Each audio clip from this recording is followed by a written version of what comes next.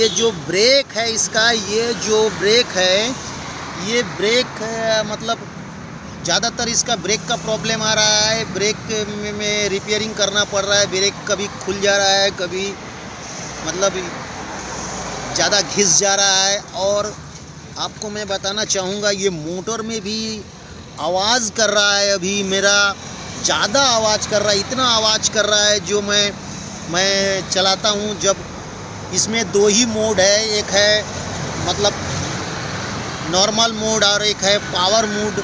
ये power mode में या नॉर्मल मोड में जो भी चलाइए, इसमें वो आपका मतलब आवाज़ बहुत देता है। और ये साइकिल में थोड़ा कंफर्टेबल कम है, ज़्यादा कंफर्टेबल नहीं है।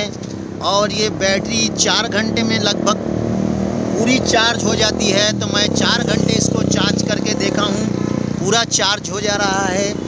और ये सीट इसका जो है, ये टूट गया था। दिखा सकता हूँ, टूट गया था।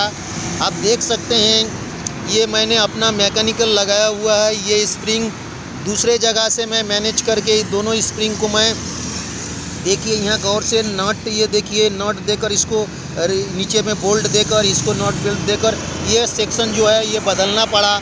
ये भी बदलना पड़ा। बदलने के बाद ये साइकिल को मैं अपना तरीक़ा से बनाया। मैं अपने तरीक़ा से वो बनाकर इसको ग्रिल के दुकान में ले जाकर बनाया, क्योंकि उसके पास जाता तो इन लोग को बदलना पड़ता। बहुत सारे इसको मतलब दाम पड़ जाते, इसका दाम इतना ज़्यादा ज़्यादा दाम पड़ जाता जो मैं शायद ले नहीं पड़ता तो मैं इसको अपने तरीके से मैंने काम किया था।